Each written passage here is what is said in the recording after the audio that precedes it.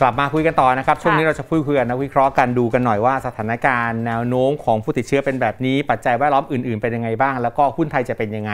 คุยกับคุณมงคลพ่วงเพตรา ผู้ช่วยกรรมการผู้จัดการฝ่ายกลยุทธ์การลงทุนหลักทรัพย์ของบริษัทหลักทรัพย์ KTBST กันนะครับค่ะสวัสดีครับพี่มงคลครับครับ สวัสดีครับ สวัสดีค่ะ ดูตัวเลขผู้ติดเชื้อที่ยังคงเกิน 20,000 อยู่ ดูสถานการณ์แวดล้อมแล้ว พี่มงคลประเมินสถานการณ์แนวโน้มของตลาดหุ้นไทยวันนี้ยังไงบ้างครับ คือถ้าเป็นตัวเลขระดับ 21,000 คนที่รายงานเมื่อเช้ายังถือเป็นตัวเลขที่ยังเกาะกลุ่มอยู่นะฮะยังเป็นค่ะตัวเลขที่ยังไม่ได้ไม่ได้ฉีกไปครับผมว่าตลาดจะกังวลอีกทีหนึ่งอะตัวเลขต้องขยับยกระดับนะอาจจะไปเป็นวิ่งเข้าหา25,000ที่ใช้คำว่าวิ่งเข้าหากันแล้วกันอืมแค่วิ่งเข้าหา25,000ผมว่าคนก็อาจจะจะกังวลแล้ว แต่ว่าต้องเรียนนิดนึงว่า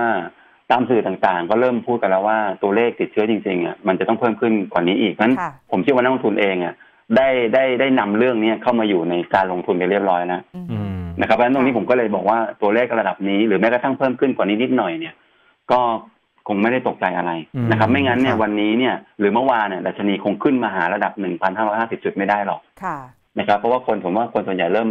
เริ่มที่เรียกว่าเริ่มเริ่มเริ่มคลายความกังวลอีกอย่างหนึ่งก็คือเรื่องการติดฉีดวัคซีนเองนะเนี่ยอือฮึก็ฉีดได้เยอะขึ้นค่ะ นะครับฉีดได้เยอะขึ้นค่อนข้างมากก็คือแข่งกันนะฮะแข่งแข่งกันนั้นตรงนี้ก็ในแง่ตลาดหุ้นอาจจะมีมุมมองที่แตกต่างจากค่ะในสิ่งที่เป็นคนเราทั่วๆไปคิดกันนะฮะเพราะว่าตลาดค่ะหุ้นมักจะมองอะไรไปข้างหน้าเสมอค่ะครับแต่การขึ้นก็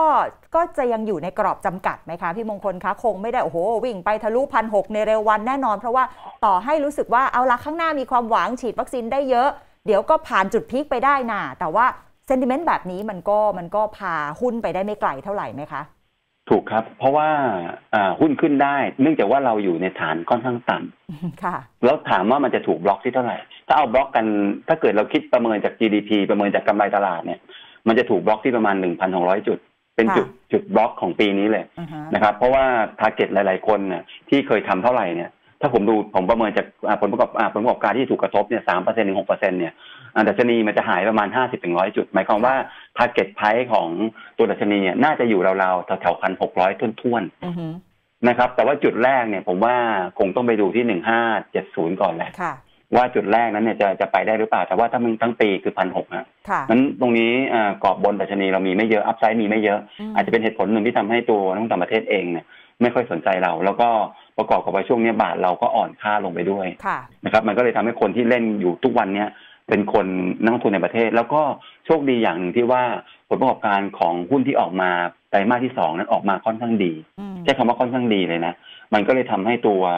อ่าตัวตลาดหุ้นน่ะมันสามารถยืนได้ เราเคยคาดการณ์ว่ากำไรตลาดอยู่ประมาณสองแสนล้านเนี่ยค่ะตอนนี้เนี่ย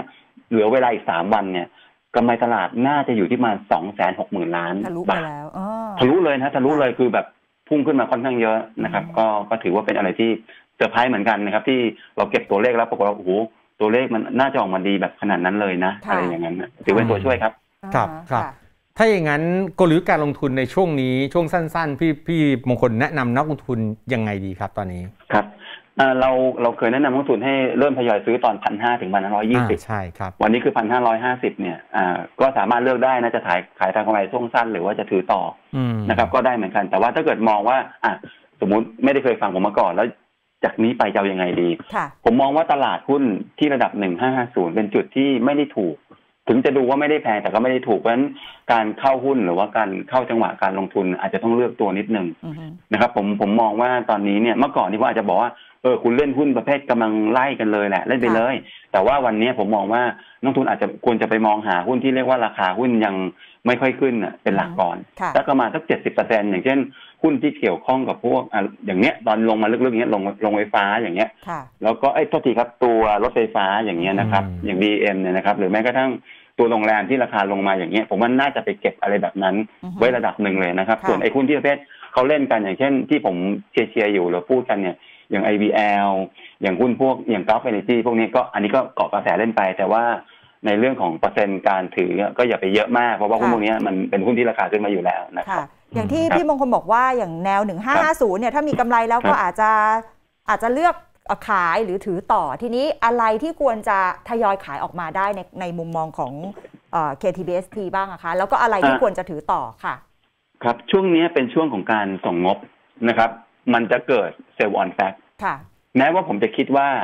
ตลาดหุ้นจะไม่เกิดเซลล์ออนแฟกหลังส่งงบ ก็คือพูดง่ายส่งงบจบวันจันทร์หน้านี้แล้วหุ้นไม่ลงอือฮึแต่ว่าในแง่ระดับตัวหุ้นเนี่ย ผมแนะนำว่าตัวไหนก็ตามที่รายงานของประกอบการออกไปแล้วค่ะนะครับ ก็ น่าจะเลิกเริ่มขายทำกำไรออกไปบ้างนี่ค่ะนี่คือกลุ่มที่ผมแนะนำเป็นขายนะค่ะส่วนกลุ่มที่บอกว่าเอ้ยแล้วอย่างนี้เราควรจะจะขายออกไปอีกหรือเปล่านอกเหนือจากกลุ่มที่รายงานงบไปแล้วเราออกมาอะไรก็ตามเนี่ย ผมมองว่าตอนนี้เนี่ย เราไปดูที่ตัวหุ้นเลยกันแล้วกันว่าไอ้ตัวตัวที่เราถืออยู่นั้นเนี่ย มันมีกำไรในระดับที่พอสมควรหรือยังค่ะนะครับ ถ้าเกิดพอสมควรแล้ว เราคิดว่าเอ้ย มันมันจะไปต่อลำบากเราก็เลือกขายไปก็ได้ครับ เพื่อความสบายใจอือฮึอืมส่วนตัวที่อ่าถ้าเกิดเป็นตัวที่บอกจะเข้าเองอะอย่างที่ผมบอกอะอยากให้เน้นตัวที่ราคาหุ้นยังไม่ขึ้นไว้ก่อนอือฮึนะครับค่ะกำไรกับกับเรื่องของกำไรที่มีเซอร์ไพรส์เลย พวกนี้ก็ก็ก็คงมาทีหลังนะครับอืมค่ะอืมอย่างอย่างรถไฟฟ้าหรือโรงแรมที่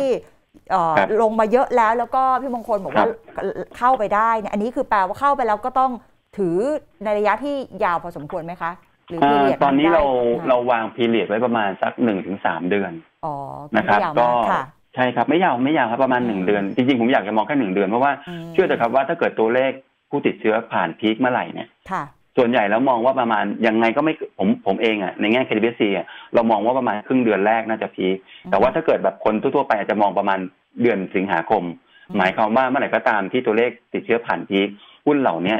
ไม่ว่าจะเป็น DEM หรือไม่ว่าจะเป็นเซนเทลเนี่ยผมเชื่อว่าก็น่าจะมีการไล่ราคากลับขึ้น ไม่ใช่กลับขึ้นไปที่เดิมนะครับค่ะแต่ว่าน่าจะดีขึ้นกว่าระดับปัจจุบันครับอืมก็เลยมองว่าน่าจะน่าสนใจกับกับการสะสมระดับหนึ่งเดือนนะคครัรับบครับพี่มงคลถ้าถ้าถ้าเราจะโฟกัสหุ้นที่ผลผลการดำเนินงานที่ประกาศออกมาไตรมาสสองดูดี แล้วคาดการณ์ประประหรือประเมินว่าไตรมาสสามไตรมาสสี่ก็ก็น่าจะดูดีด้วย ก็ยังเป็นครับน่าจะเป็นกลุ่มรถไฟฟ้าเป็นเซนเทลกลุ่มพวกนี้ไหมครับ หรือว่า KTBSC มีมุมมองตัวอื่น ๆด้วยครับไม่ฮะถ้าถ้าเกิดเป็นเอ่อหุ้นที่มีผลประกอบการออกมาดีเนี่ยอืมจริง ๆ จะมีอยู่ประมาณสามกลุ่มอืมค่ะในไตรมาสนี้นะครับหนึ่งอิเล็กทรอนิกส์อืมนะครับ เพราะว่าต่างประเทศดี อันที่สองกลุ่มโลจิสติกไม่รวมไม่รวมธุรกิจการบินอืมโลจิสติกพวก WICE Logistics พวกอ่า LEO พวกเนี้ยดี อันที่สามคือกลุ่ม healthcare ครับสามกลุ่มเนี้จะเป็นสามกลุ่มที่กำไรไตรมาสที่สาม ยังดีอยู่อืมแต่ว่าในเชิงราคาหุ้น ผมพูดได้เลยว่าส่วนใหญ่แล้วเนี่ย ราคาค่อนมาขึ้นมาค่อนข้างสูงอืมถ้าเกิดถามว่าแล้วสามกลุ่มเนี่ยให้ผมเลือกเนี่ย ผมเลือกมายังไงบ้างค่ะผมจะเลือกบางตัว อย่างเช่นโลจิสติกเนี่ย ผมจะเลือกตัว LEO กับตัว WICE อืมนะครับเพราะว่าผมมองว่าเอ้ยด้วยผลประกอบการด้วยอนาคตนะผมเชื่อว่ามีโอกาสไปต่อได้ ผมเลือกครับสองตัวนี้อืมส่วนในกลุ่มอิเล็กทรอนิกส์ผมจะเลือกตัว KCE อือฮึ นะครับเพราะผมมองว่าในในตัวเนี้ยอ่า KCE เองเป็นตัวที่ผลิต base material คือพวก PCB ใช้ในการในอุตสาหกรรม ซึ่งมันเติบโตได้อย่างดังต่อเนื่องได้อยู่แล้วค่ะผมก็จะเลือกตัวแบบบางตัวที่คิดว่าราคาหุ้นยังพอไปได้อะอือฮึก็เลือกมาสามตัวในสามกลุ่มนะครับค่ะส่วน healthcare นั้นเนี่ยผมคิดว่าเมื่อไหร่ก็ตามตัวเลขผู้ติดเชื้อผ่านพีคเนี่ยหุ้นกลุ่มนี้เนี่ยแม้ว่ากำไรจะดีเนี่ยแต่ราคาหุ้นอาจจะไปต่อลำบากนะครับอืมอืมเพราะฉะนั้นแต่ครับว่า 3 กลุ่มนี้ถ้างบเอ่อ Q2 ดี Q3 4 อาจจะดี แต่ว่าก็ต้องรอจังหวะของการย่อลงกว่านี้ใช่ไหมคะพี่มงคลคะอ่าก็จะย่อดูจะจังหวะย่อก็ได้เหมือนกันนะแล้วแล้วผมว่าแล้วแต่ราคาหุ้นนะแต่ถ้าเกิดเป็นอย่างที่ผมพูดถึง Leo Wise พวก KCE เนี่ย อันนี้มันมันกำลังอยู่ในจังหวะที่ราคามันกำลังเป็นจังหวะที่พอซื้อได้อยู่ในตอนนี้อืมอืมนะครับก็จะเป็นอย่างนั้นครับค่ะก็ต้องเลือกรายตัวเอานะคะครับขอบคุณมากค่ะขอบคุณพี่มงคลนะครับคะขอบคุณที่รับชม GNN ช่อง 16 นะครับ อยากให้กด Subscribe แล้วก็กดกระดิ่งเตือนกันด้วยเรายังมีวิดีโอดีๆ ให้รับชมกันอีกเพียบเลย และถ้าไม่อยากพลาดการติดตามรายการแบบสดๆ ไปดูได้ที่ Facebook TNN Live นะครับ อีกหลากหลายช่องทางที่สามารถรับชมได้แบบง่ายๆเพียงแค่คุณผู้ชมกดลิงก์ที่อยู่ด้านล่างวิดีโอนี้นะครับ